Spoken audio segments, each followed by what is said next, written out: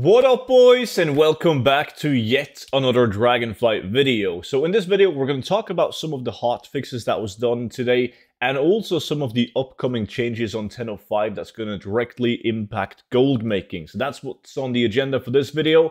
Now before we dive into it, big thank you to everyone that has subscribed lately. We're sneaking up on 100,000 YouTube subscribers and as promised, that's when I'm going to do millions of golden giveaways to you guys, the subscribers only. So make sure you subscribe down below to the YouTube channel. And a special thank you to every single one of you guys that has picked up a copy of the 0 to 10 million gold guide. Support has been massive. The feedback as well. I'm so glad that you guys are liking the Dragonflight updates. And if you use the discount code Dragonflight, you will get the book for 50% off and just know that this comes with a lifetime of free updates. So whenever the next patch comes out, or even the next expansion, you guys, as long as you got the book, will receive all the future updates for free for life. So make sure to check it out with the link down below in the description. But today, first of all, we're looking at the hot fixes, what's already been implemented. And there's a couple of interesting things. Like, first of all, they did finally a change to Artisan's Consortium. Now, if you guys don't know about the factions, basically what allows you to purchase knowledge points and patterns and plants and so on. And uh, you get quests with these guys weekly. Now, what people did is that people, they did two quests, let's say with herbalism and mining. They dropped those professions, picked up new professions, leveled them to 25 so they could do the quests again. And then they dropped those professions picked up two new professions, leveled it to 25, and then did the two daily quests. And so that way they could get uh, 250 reputation from having each the professions in the game. Now, though, you can only do two a week for a total of 500 rep a week. So that's pretty big. And it, honestly, like, it should have been fixed uh, ages ago. Uh, further on, I want to talk about uh, the enchanting formulas. Basically, with the uh, elemental invasions that's happening in the Dragon Isles, you are able to kill the rare elites and you have a chance at getting these illusions. Illusion Primal Frost, Air, Fire, and Earth. Now, these used to be bind on pickup, so you would have to go there on your enchanter, get them, and then you could uh, craft them and sell them on the auction house. And they are fairly good. Like, I got the Fire one on my uh, Enchanter. I, I tried to get the other ones, but I haven't been able to. And with slacking, and I mean like really slacking, like I barely posted this, I've still sold six of them for a total of 380,000 gold, and I have four more crafted on me. So these have been making a lot of gold. So if you guys haven't received them yet, it might even be worth purchasing the formula so you can craft these, let alone just at least farm them because people will pay a premium for the formula as well because there's a total of four of them, which means that you can craft all four of them for the first craft bonus, giving you a total of four knowledge points, right? There's currently, as far as I was uh, able to see right now in my realm, and none up on the auction house currently. Maybe there's no invasion active. I actually haven't checked that. But an interesting thing is, like the, the, the illusions, I haven't been able to see the Earth one on any of the realms that I play on. I've only seen Frost, Fire, and Air. So if anyone of you guys have the uh, Illusion Primal Earth, please let me know. Regardless, these are really good. The profit margins are big on these. As you can see, right now it costs 11k to craft. That's 44,000 gold profit on my realm. So yeah, they're massive. Jump on those. Even if you don't have enchanting, at least go and get them. Sell the formulas. Um, Further on, we have as well something that's really interesting is jewel crafting. Fixed an issue where the design elemental lariat was not properly dropping off of all the boss storm creature, creatures. It should now properly drop off them. And then a developer's note, players only have a chance to get this recipe on the first kill each day matching the behavior of each like i know people in my community that have been farming this like for 24 hours straight. And to get this confirmation that it can only drop off the first kilo in each day is going to be such a relief for people. And they should also uh now as they can drop off all boss creatures uh be hopefully easier to get. If you guys don't know what this is it's pretty much the best necklace in the game people were buying the Lariat uh, for gold cap. Look, it's 9 million gold in my realm. Has a market value of 9 million gold. Like the race to world first raiders, they paid gold cap and then offered to pay for realm transfer so people could transfer to the realm with this design.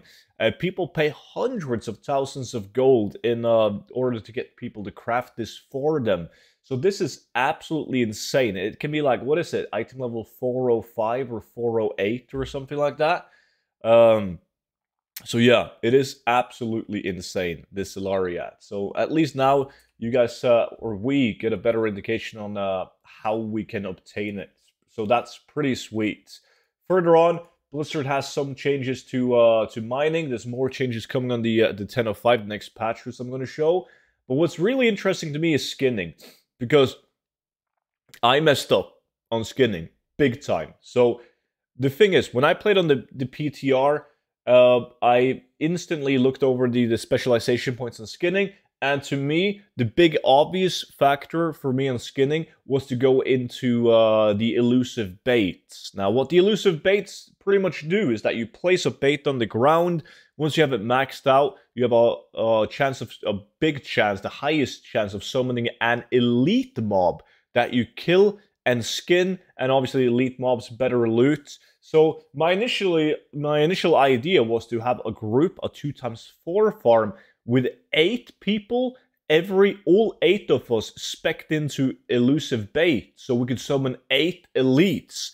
And I tested it on the the uh, alpha, and you were able in 2004 to reset the cooldown on your bait in like two minutes on a proper spot. So that means every two minutes we would be able to summon eight elite mobs, skin them, get good loot. Like in Shadowlands, elites had a way higher chance of dropping the good mats, like the the rare mats, and there, there was nothing that could compete with it. Sadly, when the live realms came out, we got eight people with the maxed out elusive bait, and they were so bad. Like, I'm, I'm so bad. Like, this is changed now, though, hopefully for the better. So they have significantly increased the bonus cooldown reduction.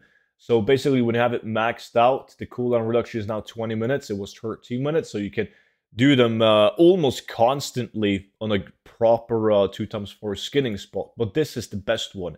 Increase the reward for skinning normal, rare, and elite elusive enemies. So you actually get better loot, because that was the issue. The issue wasn't summoning the elites or anything like that. The issue was the loot that the elites gave. Sometimes they would give the same loot as just a random regular mob that you would kill. In fact, most of the time they would, right? So now also the normal enemies are now only skinnable by a single skinner. It doesn't really matter because if you all have it maxed out, I think I summoned like uh, 20 baits and uh, like 18 of them were elite. So this shouldn't be an issue because the elite mobs can still be skinned by everyone in the group. So that is a great change, and I can't wait to um, to put it to the test to see exactly how good this is going to be now, now that it's been fixed. And then looking at the the 1005 PTR notes, there's also some interesting uh, things coming in the next patch. They did some uh, revamp to the crafting orders. I'm gonna um, I'm gonna link this uh, down below, by the way, in the description. But this one here is uh, kind of interesting. Overload Elemental Deposit and Overload Elemental Herb has been slightly redesigned. The Overload cooldown is no longer modified by gathering, mining, and herbing nodes. So basically right now, once you unlock, you don't even have to place any points on it, but you need to unlock uh, the Overload uh, specialization, and you will then get the two abilities to Overload Herbs and Ore. And that cooldown similar to the skinning baits is reduced whenever you uh, you mine and herb, but you don't have to put any points into it in order to do so.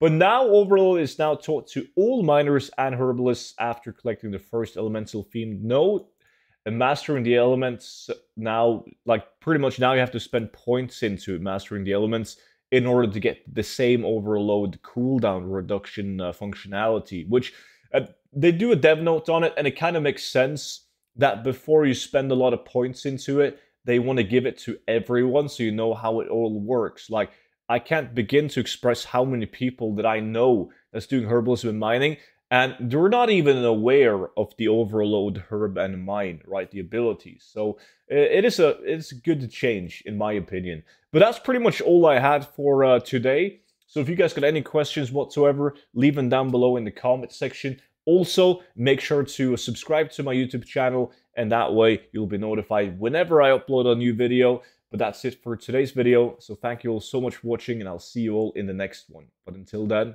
bye bye.